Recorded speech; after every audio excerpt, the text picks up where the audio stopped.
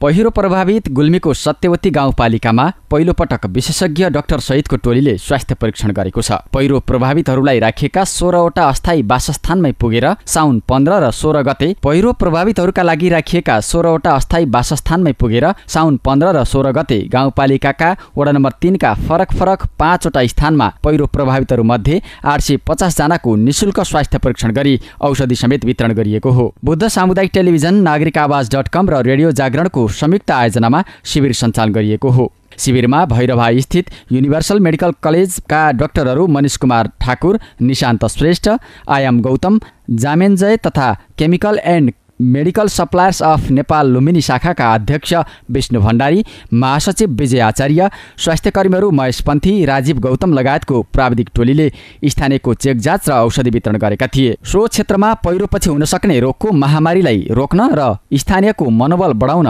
स्वास्थ्यकर्मी बोकेर घटनास्थल पुगेको पहिरो प्रभावितहरूका लागि राहत सङ्कलन तथा पुनस्थापना कोषका संयोजक तथा बुद्ध सामुदायिक टेलिभिजनका अध्यक्ष पृथ्वबहादुर फौदार पृथ्वीको भनाइ छ। दुखेको मन घाउ चोटमा हाम्रो सानो प्रयासले केही थप तपाईँहरूलाई सहयोग पुऱ्याउँ भन्ने उद्देश्यका साथ हामी बुटोलदेखि आएका हौँ र हाम्रो यो अभियान यहाँबाट आजबाट समाप्त हुँदैछ र फेरि तपाईँहरूलाई पर्ने आवश्यक सबै राहतका सहयोगहरू आवश्यक पुनर्वासका प्रक्रियाका निम्ति हामीले गर्न सक्ने पहल सधैँ गर्नेछौँ। तपाईँलाई यो विश्वास दिलाउन चाहन्छु। सो शिविरमा आएका मध्ये धेरैलाई सही परामर्श औषधोपचार र चेक जाँच गरिएको डाक्टर मनिष कुमार ठाकुरले बताउनुभयो। दमको समस्या भएको आजमा सिओपिडी अनि प्रेसर त्यसपछि स्ट्रोकको बिरामीहरू थुप्रै छन्। यो बिरामीहरूलाई मेन भनेको ठुलो सेन्टरमा लगेर अझै हल्का उपचार गर्ने अझै आमाथि उपचार गर्नुपर्ने छ। पहिरो आएपछि अब त्यो दिसा पखाला लाग्ने रुगाखोकी लाग्ने धेरै हुन्छन्। हामीले काउन्सिलिङ गरेर पानीमा अब पानी पनि राम्रो ततला उमालेर खाने हो। अनि दिसा पखालालाई पनि हामीले ओआरएसहरू झोलहरू खान भनेछौँ है। अनि त्यसपछि हामीले काउन्सिलिङ गरेर मेन मेन भनेको यसमा पर्सनल हाइजिन मेन्टेन गर्ने हो। पहिरोको क्षतिले अत्तालिएका स्थानीयलाई लक्षित गरेर सञ्चालन गरिएको स्वास्थ्य शिविर आफूहरूलाई घाउमा मलहम जस्तै भएको उनीहरूको भनाइ छ।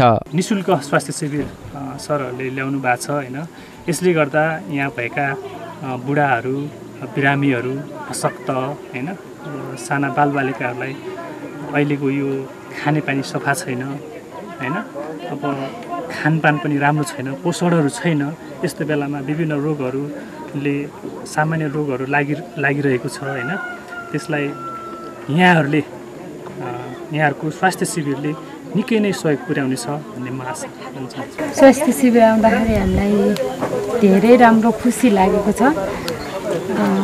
हामी बाटो छैन पहिरोले गर्दा धेरै ठाउँमा पहिरोहरू गर्छ। पहिरोले गर्दाखेरि बाटोहरू बनाउन मुस्किल छ। भर्खर भर्खर गाउँमा बाटो प्रवेश त गरिराखेको छ। तर पनि पानीले गर्दा फेरि बाटो त्यस्तै हिलो नै छ। गाडीहरू त्यति चढ्न सकिरहेको छैन। यति बेला स्वास्थ्य शिविरहरू ठाउँ ठाउँमा आइराख्नु भएको छ। यो शिविरहरू आइराख्दा हामीलाई एकदमै खुसी लागेको छ। यहाँका बालबच्चा वृद्धहरू छन् अन्य रोगीहरू छन्। उहाँहरूले ठाउँ ठाउँमा उपचारहरू पाइराख्नु भएको छ। स्वास्थ्य शिविर लिएर आउनुहुने सबैजनालाई धेरै धेरै धन्यवाद पनि दिन चाहन्छु। साउन छ गतेबाट सुरु भएको अविरल वर्षासहितको पहिरोले साउन सात गते बिहान वडा नम्बर तिन ठुलो लुम्पेकमा पाँचजना र वडा नम्बर चार लिम्घामा आठजनाको ज्यान गएको थियो। पहिरोमा परि सन्जु विक त्यस्तै गरी तारा विक माया विक बबी विक निर्मला विक पम्फा विक अञ्जली विक हिमांशु विक छली विक शिवानी विक तिलकुमारी तरामु दर्शन तरामु र दुर्गाबहादुर सिंहजालीको मृत्यु भएको थियो।